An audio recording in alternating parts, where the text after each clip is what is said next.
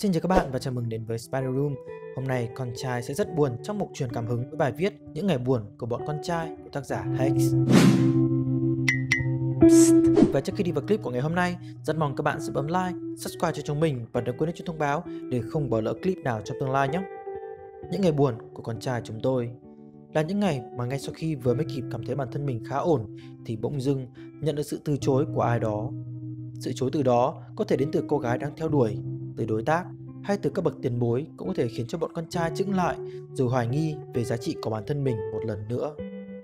Nỗi buồn của bọn con trai Nhắc đến thôi, trong đầu chúng ta sẽ hiện ngay ra những status dài lê thê kể về chuyện chàng trai đứng hút thuốc dưới mưa, nhớ về mối tình đầu, một mối tình đầy oái oăm như những bộ phim cổ trang Trung Hoa và tí mùi xì gà và nước hoa Pháp.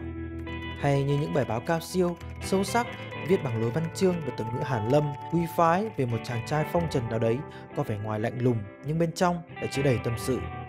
Nhưng thể loại tâm sự giống như chiếc giỏ hoa chứa đầy hoa phượng, có chút gì đó thơ mộng và xa vắng, những thứ mà ngày nay người ta vẫn thường chia sẻ với icon 2.1 ngoặc.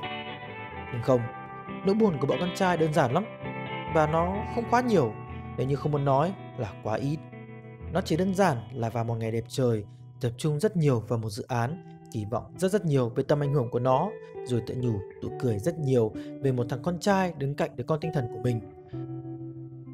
Nhưng rồi, dự án đó không hoạt động, không ảnh hưởng gì hết, cũng chẳng ai thèm quan tâm. Và nó thì vẫn cứ là một thằng chẳng làm được gì ra hồn. Nó cũng chỉ đơn giản là việc giải mãi không xong một bài toán, viết mãi không xong một chương trình hay bất đồng quan điểm với giáo viên. Cái cảm giác mơ hồ ấy, nghĩ mãi mà chẳng ra cách giải, hay hình dung được những dòng cốt mà vẫn xuất hiện lỗi, hay có cảm giác sai rất sai khi ở bên người kia nhưng mãi chẳng nhận ra đó là gì. Cái cảm giác ấy cứ quanh quẩn mãi khiến bọn con trai suốt cả buổi chẳng thiết gì đến ăn uống. Hay nó cũng chỉ đơn giản là vô tình xem phải một bộ phim buồn, lỡ đọc phải một cuốn sách buồn hay nghe phải một câu chuyện buồn. Một vài giây phút nào đó bỗng chậm hơn bình thường, khiến cho bộ óc thường ngày vốn loi choi lóc chóc bỗng dưng một đứng yên. Một vài giây mà bọn này thôi không nghĩ về bản thân nữa, mà bắt đầu biết thử đặt thân mình vào người khác để xem như thế nào. Một vài giây, bỗng dưng trung tâm vũ trụ có chút xê dịch. Nó cũng chỉ đơn giản là chuyện con trai đã hiểu nổi cô gái của mình đang nghĩ gì và tại làm sao cô ấy lại có thể làm những chuyện vớ vẩn như thế.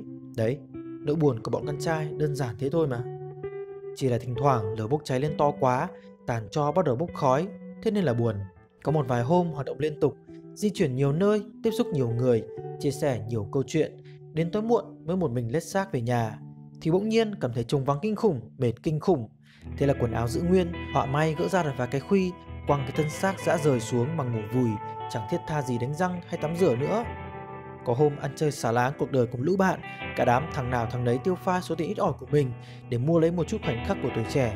Rồi say bia, so gương cười cười, lấy tay vỗ mặt vài cái rồi lại cười cười. Rồi nói với nhau vài ba câu chuyện vớ vẩn, rồi mạnh thằng nào thằng đấy về, ngủ một giấc đến sáng hôm sau. Đến khi thức dậy, vẫn thấy buồn. Có vài hôm khác bận rộn ở trường, cơ quan, đến chiều muộn mới lững thững dắt xe về, Thật sự những lúc ấy, trong lòng chán nản vô bờ bến mà chẳng hiểu nguyên do làm sao, cái cảm giác như vừa lãng phí cuộc đời của mình vậy. Những khi đi một mình, ngồi về hè ăn tạm bợ món gì đó, có vài cơn gió lạ thổi qua thôi cũng cảm thấy buồn thôi rồi. Buồn đếch tả được, nỗi buồn man mác, nhẹ nhẹ, nặng nặng hay gì đó, đại loại như vậy. Hồi bé thì con trai ít khi buồn, hoặc thậm chí là chẳng buồn tí nào cả. Ít nhất, nếu bạn có một tuổi thơ không bất hạnh và lớn lên trong một môi trường hoàn toàn bình thường, Lớn lên thì có nhiều cái để buồn hơn, nhưng cái nỗi buồn ấy cứ dàn trải ra, chảy âm ỉ như con suối dưới lòng đất, làm con trai chúng tôi đôi khi xem như buồn mà lại cũng có thể xem như là không buồn. Vì không như ở con gái, à, mình đoán thế, những nỗi buồn không thỉnh thoảng xuất hiện và nổi cộm lên, mà nỗi buồn thường trực nhưng chẳng thà nào thèm buồn. Có thể nói, đời bọn con trai về cơ bản là buồn, nhưng bọn nó lại đếch thèm quan tâm. Lại nói về chuyện lớn bé, khi còn bé, trải nghiệm cuộc sống khi nào cũng có vẻ thú vị hơn Giống lúc tắm biển, cứ thấy sóng to tấp vào bờ là hò la ẩm ý rồi đâm sầm vào. Đời ra sao thì cảm xúc như vậy, còn khi đã lớn lên rồi, con người ta trở nên bình thản hơn, trầm lắng hơn. Sóng có to hay nhỏ thì cũng chỉ là sóng, nước có lên hay xuống thì cũng kệ nó, ta cũng cứ đương yên. Mà nói là người lớn thế thôi cho ai chứ con trai có bao giờ lớn nổi đâu. Vẫn hay buồn vì những chuyện còn con bé tí, vẫn hay xúc động vì những điều hoàn toàn giản dị. Hay bỗng khi nhớ lại, lâu rồi không ăn cơm cùng gia đình, Vậy thôi cũng đủ buồn rồi Dẫu rằng cái bữa cơm ấy Hai bố con vẫn thường dùng để cạnh khóe nhau khi còn ở chung nhà Lớn rồi, không được phép thất bại. Lại là con trai thì càng không được phép thất bại. Có vài nơi, vài chỗ, người ta cứ bảo con trai là phải chịu đựng được nhiều áp lực tâm lý và kìm nén nỗi buồn gì gì đó. Người ta bảo con trai là phải tỏ ra mạnh mẽ. Vớ vẩn, con trai chẳng cố tỏ ra điều gì cả. Thế giới càng ngày càng hiện đại và người ta càng cố gắng giải thích mọi thứ nhưng quên mất rằng có nhiều thứ không thể giải thích hoặc không giải thích thì hay hơn. Bọn tâm lý học đúng là sạch việc. Thôi đùa vậy, lớn rồi không được phép thất bại. Thế nên là mỗi khi kịp cảm thấy bản thân cũng ổn, lương lậu cũng ok, ảnh hưởng cũng đáng kể, nói vẫn có người nghe, comment vẫn có người like thì bọn này cảm thấy khá là thoải mái. Nhưng nhanh thôi, khi nhận ra bản thân mình còn thua kém nhiều người, thành công nhỏ của mình vẫn chỉ là một kiểu thất bại của người khác thì lại ngay lập tức thấy buồn và rồi lại lao đầu vào cố gắng mà thôi.